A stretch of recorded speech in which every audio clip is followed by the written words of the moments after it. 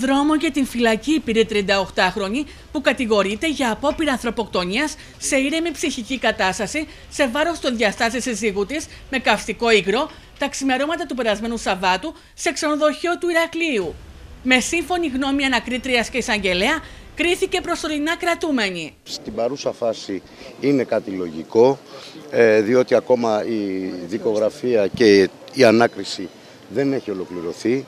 Δεν υπάρχει κατάθεση του παθόντα. Από τη στιγμή που φοβόταν για τη ζωή της, γιατί πήγε στο ξενοδοχείο; Κοιτάξτε, φοβότανε τον ίδιο, φοβότανε τα αδέρφια του, φοβότανε την οικογένειά του.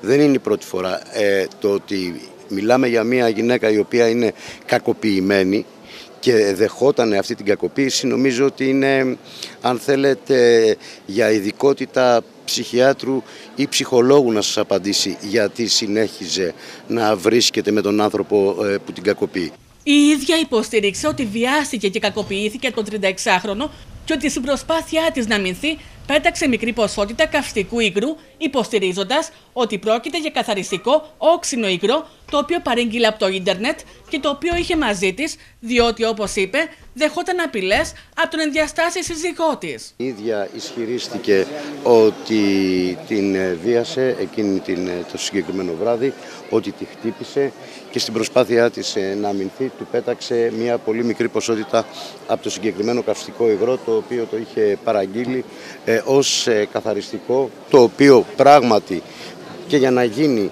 ζημιά είναι όξινο. Τώρα σε τι περιεκτικότητα, τι ποσότητα κλπ.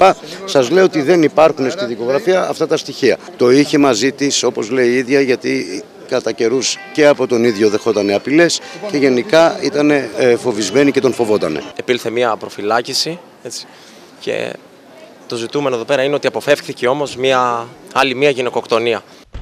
Φοβόμουν για τη ζωή μου, υποστήριξε 38χρονη, απαντώντας στο ερώτημα γιατί δεν παραδόθηκε άμεσα στις αρχές ενώ κατά την ανακριτική διαδικασία δεν έγινε αναφορά σε τρίτο πρόσωπο με το όνομα Στεφανία. Ακούμε τις τελευταίες ώρες για μια Στεφανία υπάρχει αυτή η γυναίκα. Δεν αναφέρθηκε ούτε ερωτήθηκε κάτι σχετικό. Ζήτημα σε σχέση με τη φυγάδευσή της από, το νοσο... από το ξενοδοχείο. Ανέφερε, ανέφερε ότι ενημέρωσε ένα ταξί και ήρθε και την παρέλαβε. Πώς βρέθηκε όμως το ξενοδοχείο; Δεν ήταν η πρώτη φορά. Με τον ε, σύζυγό της ε, είχε πάρα πολλές συναντήσεις σε, σε διάφορα ξενοδοχεία, οι οποίες μάλιστα όλα τα, όλες οι κρατήσεις έχουν προσκομιστεί. Το πρόσωπο που κατονομάζεται ως Στεφανία από τον 36χρονο είναι υπαρκτό και θα ζητηθεί το συντομότερο δυνατό με αίτημα προς την ανακρίτρια η άσκηση ποινικής δίωξης σε βάρος της, καθώς φέρεται με παρελκυστικά μηνύματα να τον εγκλώβησε και να τον παγίδευσε στο μοιραίο ραντεβού στο ξενοδοχείο. Καταρχάς δεν θα μπορούσε να την παγιδεύσει γιατί ο συγκεκριμένος αφού έφυγε επανήλθε μετά από δύο ώρες στο δωμάτιο. Άρα δεν υπήρχε κάποιος λόγος. Τι παγίδευση. Λένε ότι κοιμότανε. Ισχύει όχι, όχι. Και μάλιστα προκύπτει από την κάμερα ότι βγήκανε μαζί που την κυνηγούσε έξω από το δωμάτιο του ξενοδοχείου. Την ίδια ώρα η κατάσταση της υγείας του 36χρονου εξακολουθεί να είναι πολύ σοβαρή, καθώς το έγκαυμα στο λαιμό του είναι πολύ βαθύ, με τους γιατρούς να εκφράζουν την ανησυχία τους, ακόμη και για τη ζωή του, σε περίπτωση κάποιας επιμόλυνσης του τραύματος.